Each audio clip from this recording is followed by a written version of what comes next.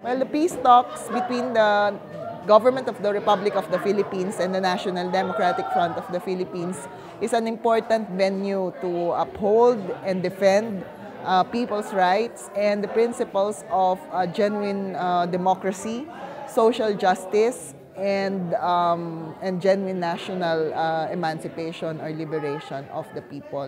Uh, we believe that um, the people's struggles uh, with, within the peace tables and more importantly outside of it